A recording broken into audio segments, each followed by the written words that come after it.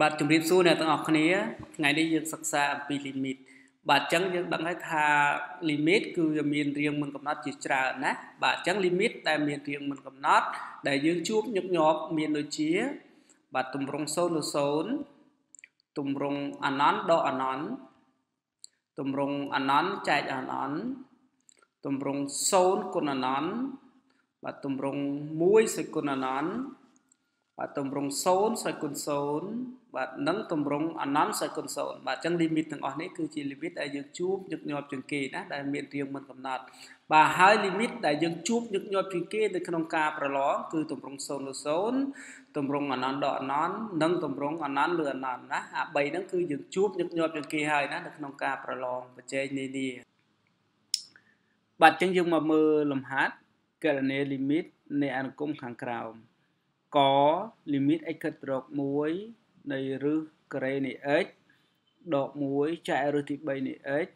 ដក1ខ limit x ខិតត្រក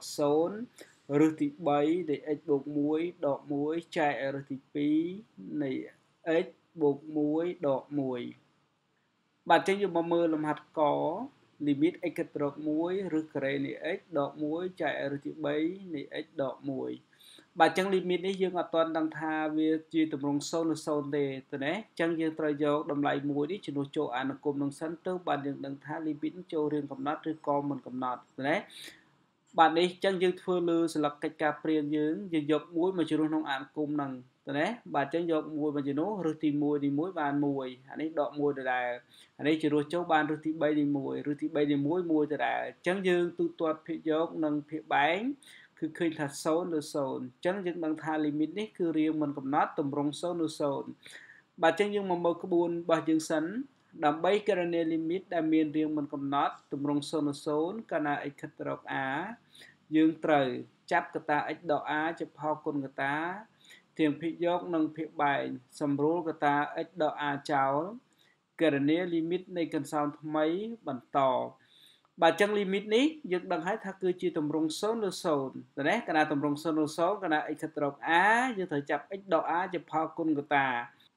បាទអញ្ចឹង limit នេះគឺជា limit ដែលមានតម្រង់0ឬ0ក៏ប៉ុន្តែវាជាប់រឹសទី2និងរឹសទី3អញ្ចឹងហ៎អញ្ចឹងលំហាត់នេះបើយើងដោះស្រាយទៅយើងអាចដោះបាន2ក្បួនទៅណាពីររបៀបអញ្ចឹងលំហាត់នេះគូដោះកនេះគូដោះតាមរបៀបទី1សិនទៅណាបាទអញ្ចឹងគេបាន limit x ខិតទៅរក 1រឹសការ៉េនៃ x ដក1ចែករឹសទី3នៃ x ដក1ជាធម្មតាកាលណារឹសទី2យើងត្រូវគុណកន្សោមស្លាស់របស់វាទៅណាហើយកាលណារឹសទី3យើងត្រូវគុណកន្សោមបំពេញរបស់វាទៅណាជាទូទៅណាបាទពីព្រោះអីទិសដៅយើងត្រូវចាប់ x ដក a ជាផលគុណកតាគឺ x ខិតរក a អញ្ចឹងបានន័យថាយើងត្រូវចាប់ x ដក1ជាផលគុណកតាទៀងភាគយកនិងភាគបែងក៏ប៉ុន្តែវាជាប់រឹសទី2និងរឹស ទី3អញ្ចឹងកាលណាជាប់រឹសការ៉េឬរឹសទី2ហ្នឹងយើងត្រូវគុណកន្សោមឆ្លាស់របស់វាណាបាទអញ្ចឹងបើភិកយកគុណកន្សោមឆ្លាស់របស់វាភិបែកក៏ត្រូវគុណកន្សោមឆ្លាស់នឹងដែរណាហើយដល់ឡែកភិបែកវាជារឹសទី3កាលណារឹសទី3យើងត្រូវគុណកន្សោមបំពេញរបស់វា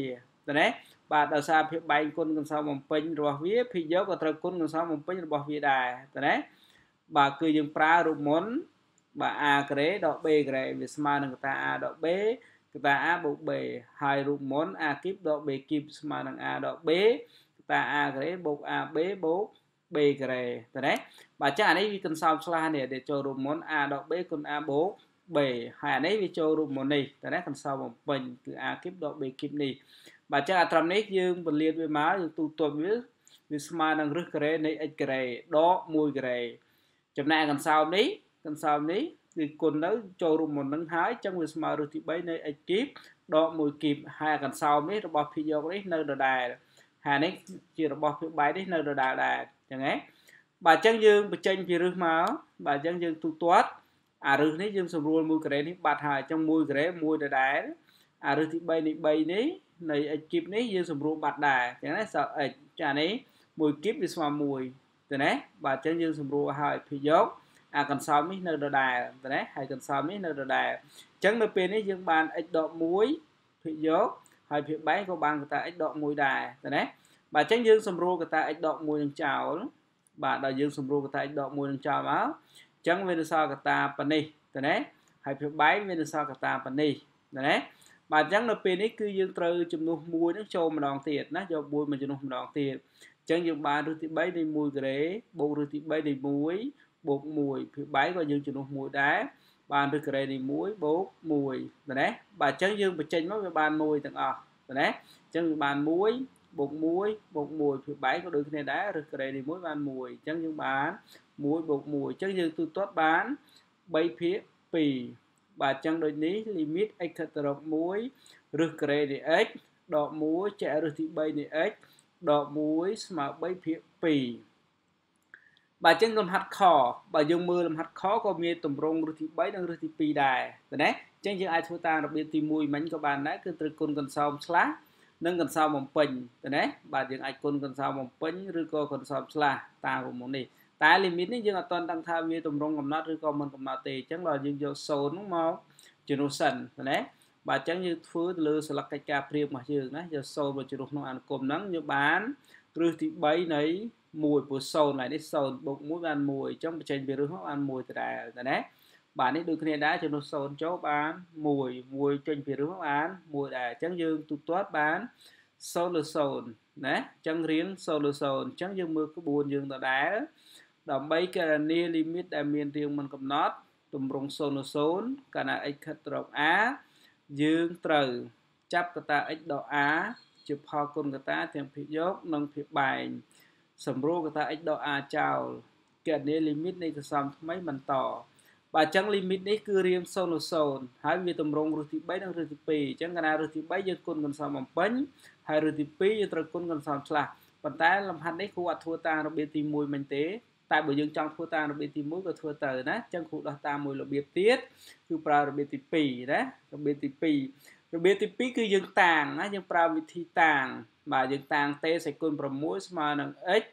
បូក1តើណាអញ្ចឹងយើងមើលសិនមុននឹងយើងតាំងមុននឹងប្រើរបៀបទី2នឹងបានយើងសង្កេតលើរឹសនឹងសិនណារឹសទាំងពីរនឹងរឹសទី3និងរឹសទី2នេះតើណាជួនកាលលំហាត់ខ្លះគេដាក់រឹសទី5រឹសទី6រឹសទី7រឹសទី8អញ្ចឹងទៅរហូតដល់រឹសទី n អញ្ចឹងទៅណាប៉ុន្តែអ្វីដែលយើងត្រូវធ្វើតាមវិធីនឹងបានលុះត្រាតែយើងសង្កេតក្នុង radicalization បាទក្នុង radical ហ្នឹងតើវាជាកន្សោមដូចគ្នាអត់ណា បាទដោយលំហាត់ខអញ្ចឹងវាមានករណីនេះគឺ x បូក1អានេះក៏ x បូក1ដែរណាអញ្ចឹងលុះត្រាតែក្នុង radical នេះវាមានកន្សោមដូចគ្នាបានយើងប្រើវិធីតាមនឹងបានណាឬឬក៏យើងប្រើវិធីទី2នឹងបានចុះអា6នេះគេបាននៅពីណាណាគេតាំងតេសេគុណ6នេះបាននៅពីណាអញ្ចឹងអាកន្លែងនេះគឺ x បូក1គឺកន្សោមដូចគ្នាហើយណាបានយើងប្រើវិធីតាមនឹងបានណាបាទអញ្ចឹងអា6នេះបាននៅបណ្ណា6នេះគឺបានយកអារឹសរបស់វានិទុសនរបស់វាហ្នឹង មកគុណគ្នាណាយកនិទុសនវាមកគុណគ្នាអញ្ចឹងអានេះ3អានេះ2តែនេះអានេះរីទី3បាននេះថាយើងយក3អានេះឬទី2បានយើងយក2អញ្ចឹងយក2គុណ3ឬក៏3គុណ2នេះស្មើនឹង6អញ្ចឹងបានយើងតាំងហតេសេគុណ6ស្មើនឹង x បូកបូក1ទៅណាបាទអញ្ចឹងបើសិនជាអានេះឬទី4យើងយក4គុណ3មកបាន12អញ្ចឹងយើងតាំងទេសេគុណ12ស្មើ x បូក 1អញ្ចឹងទៅតើណាប៉ុន្តែលំហាត់ហ្នឹងគឺរឹសទី2និងរឹសទី3អញ្ចឹងយើងគុណចូលគ្នាបាន6ព្រោះ2 3ដង5 6ណាបាទអញ្ចឹងពេលដែលយើងតាំងហើយកុំភ្លេចករណីនេះណាករណីនេះយើងមើលលំហាត់គេគេឲ្យតេ x ខិតរក0ណាគេឲ្យ x ខិតរក0អញ្ចឹងយើងត្រូវបញ្ជាក់ប្រាប់គេផងណាព្រោះយើងត្រូវបដូរអក្សរពី x ហ្នឹងទៅជាអក្សរតេហើយអញ្ចឹងយើងត្រូវបញ្ជាក់ប្រាប់គេកន្លែងនេះណា បាទអញ្ចឹងពេល x ខិតរក0នោះតេខិតរក1បានន័យថាយក0នេះយកលេខ0មកជំនួសកន្លែងយើងតាងនេះណាយើងជំនួសកន្លែងយើងតាងនេះយក0មកជំនួសមកបាន0មក1វាស្មើ1អញ្ចឹងបានថាតេស្មើ1អញ្ចឹងបានថាពេល x ខិតរក0នោះតេខិតរកខិតរក1ណាកាលណាបើយើងអត់បដូរ x ទេអត់បដូរខិតរកទេលំហាត់នេះយើងគណនាទៅខុសហើយណាអញ្ចឹង កាលណាយើងតាងហើយយើងបដូរទៅជាអក្សរតេហើយណាបាទដែលយើងសិក្សាករណីតេខិតរសូននេះណាតាមលំហាត់ដែលគេឲ្យមកបាទអញ្ចឹងយើងយករបស់ហ្នឹងមកជំនួសមកអញ្ចឹងគេបាន limit x ខិតរ0រឹសទី3នៃ x បូក1ដក1ចែករឹសការ៉េនៃ x បូក1ដក1វាទៅជា limit x តេខិតរ1វិញណាព្រោះ x ខិតរ0តេខិតរ1ណាជំនួសចូលវិញបាទរឹសទី3នៃ x បូក1នេះអា x បូក1នេះយើងតាមស្មើ t សេគុណ6អញ្ចឹងបានយើងដាក់ថារឹសទី3នៃ t សេគុណ6អានេះដូចគ្នាដែរណាបាទ x បូក1ហ្នឹងគឺ t សេគុណ6ហ្នឹងហើយតើណាបាទអញ្ចឹងអានេះ3អានេះ6យើងសម្រួលគ្នាមក6ចែក3មកបាន2អានេះ6យើង6ចែក2បាន3អញ្ចឹងបានយើងទូទាត់បានសល់2មិនអញ្ចឹងបានតេការ៉េដក1អានេះយើងសម្រួល6ចែក2មិនបាន3ណាអញ្ចឹងបានតេគីបទៅណា បាទអញ្ចឹងដល់ពេលនេះវាចូលរូបមន្តរបស់យើងនេះអាការ៉េដក b ការ៉េណាស្មើកតា a ដក b កតា a បូកបូក b នេះ a គីបដក b គីបស្មើហ្នឹងកតា a ដក b កតា a ការ៉េបូក a b បូក b ការ៉េណាអញ្ចឹងយើងប្រើរូបមន្តវិញដដែលនេះណាយើងអាចសេបាន t ដក1កតា t បូក1ពីបែងកតា t ដក1កតា t ការ៉េបូក t បូក1ណាយើងចាត់ទុកថា a នេះគឺ t នេះតែណាបើ អញ្ចឹងនៅពេលនេះយើងមានកតា t ដក1ដូចគ្នាណាអញ្ចឹងយើងធ្វើការសម្រួលអាហ្នឹងមកណាបាទអញ្ចឹងយើងសម្រួលកតា t ដក1នេះមកណាបាទអញ្ចឹងយើងសម្រួលមកវានៅសល់ t បូក1ណា t បូក1វាបែងនៅសល់ t ក្រេបូក t បូកបូក1ទៅណាបាទអញ្ចឹងយើងសម្រួលអកតាដែលនាំឲ្យ0នឹងហើយអញ្ចឹងយើងយក t មកជំនួសម្ដងទៀតណាអញ្ចឹងដល់យើងយក t មកជំនួសម្ដងទៀតយើងបាន